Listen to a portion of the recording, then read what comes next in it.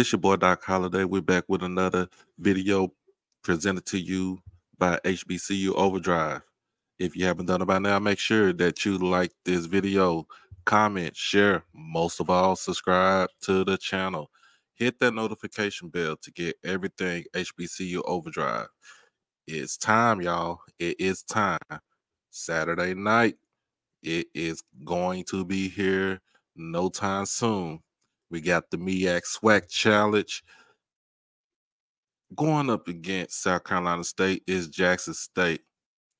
What we have right here is two blue bloods in the HBCU world. You got the old guard, Coach Buddy Pough, going into his final season after announcing that he's going to retire at the end of the year. He's going up against a young gunner in TC Taylor from Jackson State. Both coaches played for their respective schools. Both coaches are head coaches at their respective school. But the difference is now one is going to be here for a long time. The other is going to exit stage right in November.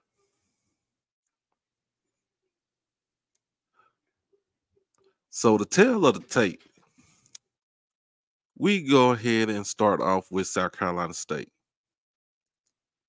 Buddy Pough returns his starting quarterback in Corey Fields,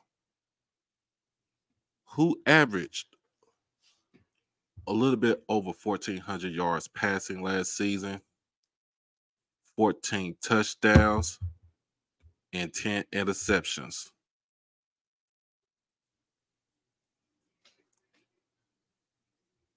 Question about what he's who he's going to pass the ball to.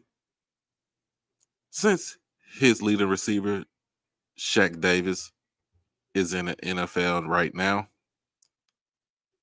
There is going to be a plethora of young receivers for him to distribute the ball to. In this game, we're going to be looking at more of a ground and pound from South Carolina State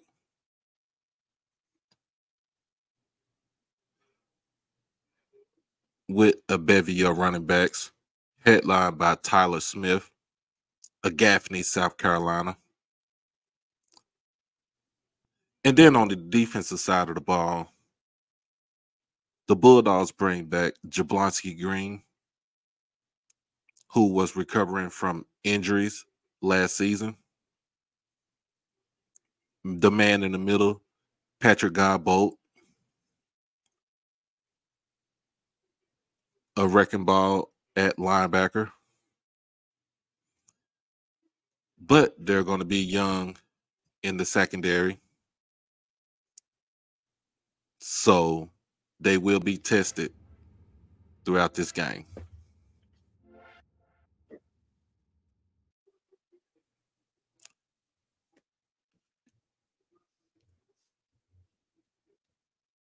Then we have uh, the True Blue Faithful Jackson State University. Like I said, headline and led by TC Taylor. Now, Jackson State is going into this game with some unknowns.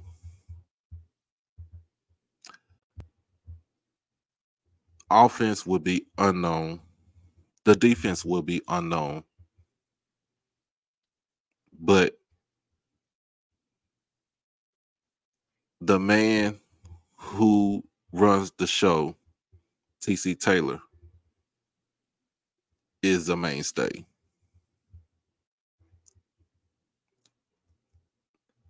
His whole coaching staff is brand new. His whole team, minus players from last season who decided to stay, is a different team. In my opinion, I expect Jason Brown to be our starter for Saturday night. But he won't be alone with distributing the football. Standing behind him, he'll have a bevy of running backs, headlined by J.D. Martin, Desmond Moultrie, and a newcomer to the team, Ezekiel Johnson.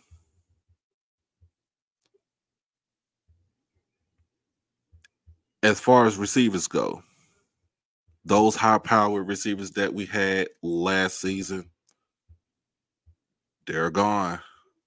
But we have a couple of people that decided to stay. Leading the charge at receiver is going to be Rico Powers.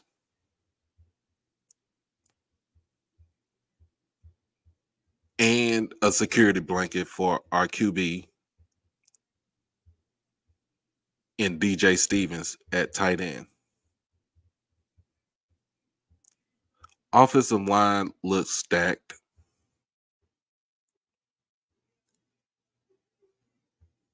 With starters like Evan Henry, Kirk Ford, a Christian Gonzalez. DeAndre Towns Blue,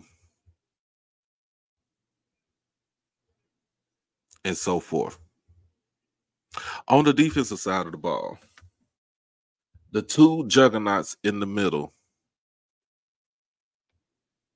Devontae Davis and Jeremiah Williams, return on a stout defensive line that led the FCS in sacks last season. On the edge, you have Antonio Doyle returning. And we got a new face on the other side of him in Philip Webb, in which I think he will start Saturday night. Linebackers, we have a few questions, but I'm looking at Alan Walker, Tim Stewart, to fill in that void that was left by the SWAC Defensive Player of the Year last year and Aubrey Miller Jr. The back end of the defense, those DBs, strap season still be anchored by Jalen Hughes on one side and Keevert Wiggins, aka K5, on the other. At safety, you have a FCS All American who is making his debut in the SWAC with the Desaius Guthrie. when playing while at Delaware State, he was a ball hawk who led his team with four interceptions. Let's hope that translates the same with this squad. On special teams, You got Gerardo Baeza, aka G Baby, who's going to be handling the place kicking duties. And as far as punter, you got another FCS All American and Matt Knoll, who also is a transfer from Delaware State. and he's going to be a difference in the special teams because I feel like he will be able to flip the field in favor of Jackson State.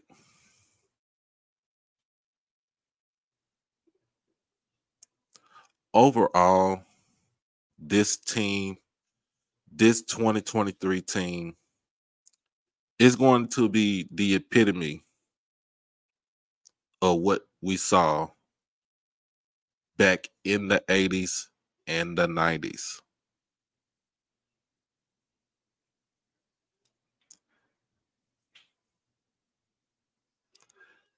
I will say this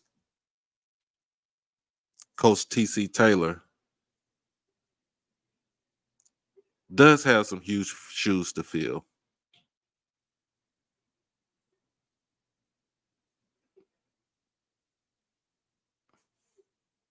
But I feel that he will fill those shoes and keep the party going.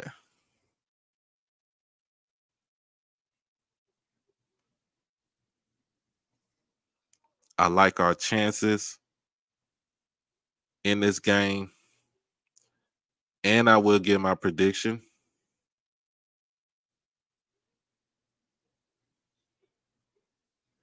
And the final score will be Jackson State on top 27, South Carolina State 21. Jackson State are 18 point favorites right now. But that may change before the ball is even kicked off. But you heard it from me. You heard it here first. You got to love it because football is back, y'all.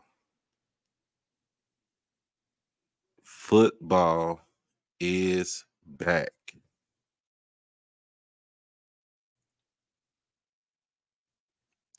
Again, make sure that you like the video. Make sure that you comment, share, and also, like I said, subscribe to the channel. Hit the notification bell to get everything HBCU Overdrive and to become exclusive family member. Become an exclusive member of the Overdrive family. We have two tiers we have the purple, and we have the blue.